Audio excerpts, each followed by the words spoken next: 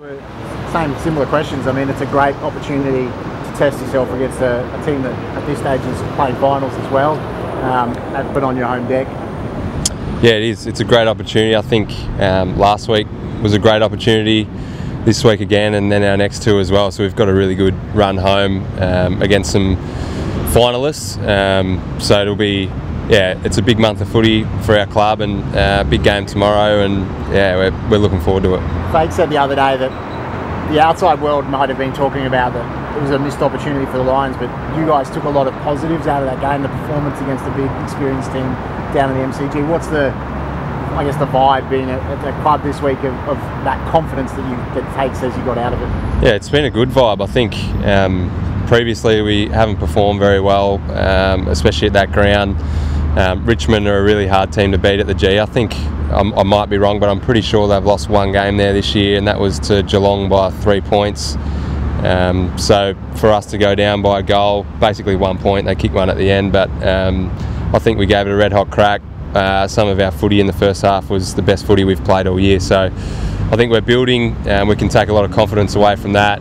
Um, and yeah, we move on now onto, onto this week. And the midfield challenge against another team with you know, Walsh and, and Cripps, you know, got stars of the competition. That's also for your midfield in particular something to really um, hang your hat on if you can go head to head with them and then come out on top. Yeah, I feel like over the last month our midfield's built back a bit of form. We were probably um, down in a few key areas um, through the midfield.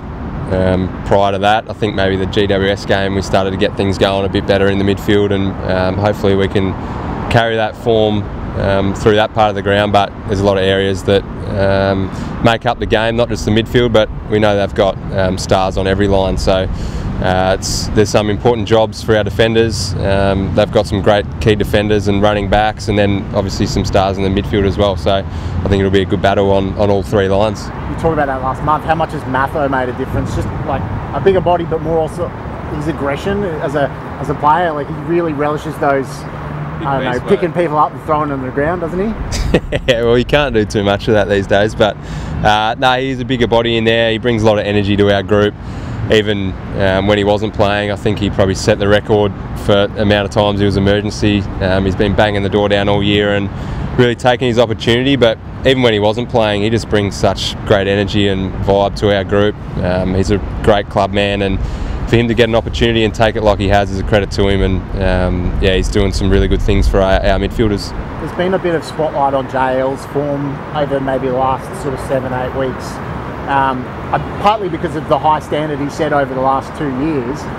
Has what's he been doing to try and maybe get back to some of his best form? Because I mean, his numbers are, are significantly down. Yeah, I haven't really picked up on too much of that talk or what any, anyone's been saying, but internally we value what he brings to us so highly. He's uh, one of the best uh, midfield minds that I've come across in the game. He sets us up really well, um, communicates to our our boys um, so well out there and um, gives us great direction. And I think he's still so um, valuable and a key to our clearance stuff. Um, his first possession uh, to clearance stuff is unbelievable. Some of the things that he does, um, he's got great hands. So um, we still rate what he does really highly. And uh, I haven't really heard much of what everyone else is saying, but I think he's still playing a key role for us. Hey, look, one, thing to me that seems to have been lost from last week is he didn't have the starts such a big role.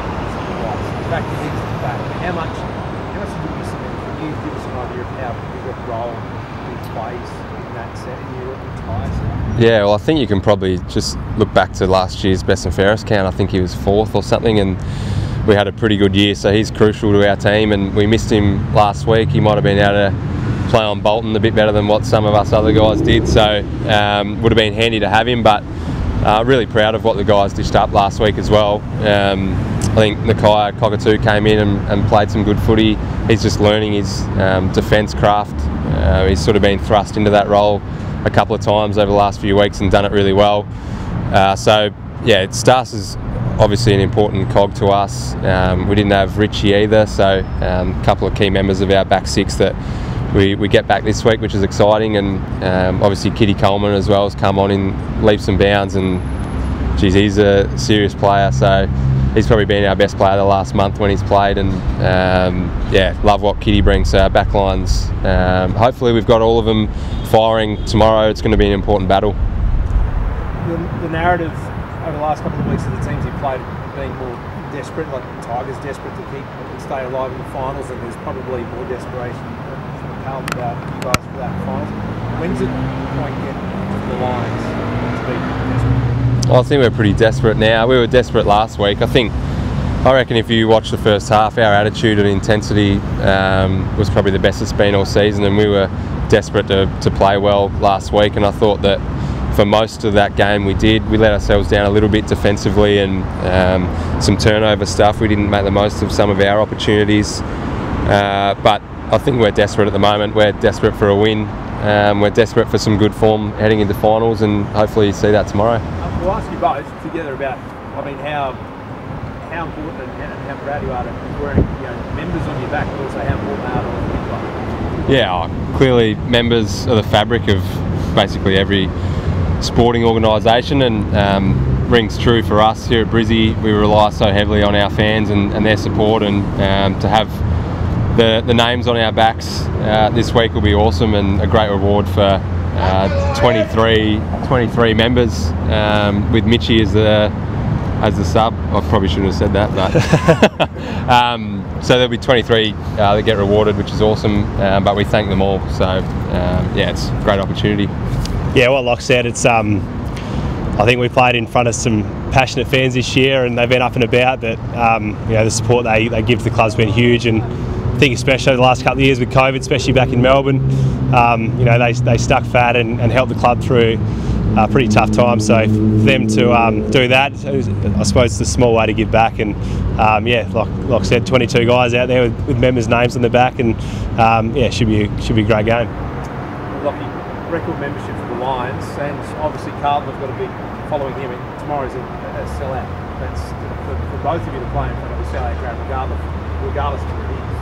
It's yeah, it's awesome. Um, I feel like our fans this year have come out in, in numbers, and um, is no different. So to have a sellout on a Sunday afternoon game is uh, is great. So um, I'm sure there'll be some Blues fans there as well, but hopefully a lot more uh, Maroon there and can't wait to hear the roar of our crowd. They're always great here at the Gabba, and um, yeah, looking forward to it. Pat, you're already getting a hostile reception. Are you expecting more of that tomorrow? Uh, it's always like that when you, you travel interstate. It's um, I think that's the beauty of when you, you play away. It's sort of the 22 that run out there against the Oppo crowd, and um, oh, we played here a few years ago. It's always loud up here, and um, tuned into a few of the Brisbane games this year up at the Gabba, and um, especially the night games. They seem to be pretty loud. So uh, we'll do our best early to try and silence them, but um, I think it's going to be a great game. Um, you, you, always love playing in front of in front of as many fans as you can, and um, yeah, it creates a great atmosphere for the game. Uh, before we separate, we did go one, one, one at a time. Earlier in the season, Lockie was watching your games, talking about how inspired he was watching you, and, and how that pushed him to, to, to play better and um, lift his own game. Have you been watching him as well? We did pretty well that week. I think he had about 40 and three the two days after he said that. So, no, nah, we, um, we we actually chat a fair bit, himself and Locke, um, obviously with the ball magnet stuff, but um, try and pick each other's brains a bit on, um, you know, watching how people play and. Um, yeah, I, I watch a lot of his vision, how he sort of manoeuvres around stoppages, how he deals with taggers. So um, I think it's a, a, lot of the players in the competition sort of pick apart each other's games to try and, I suppose, add elements to their game and, and try and get better. No advice this week, I assume, though.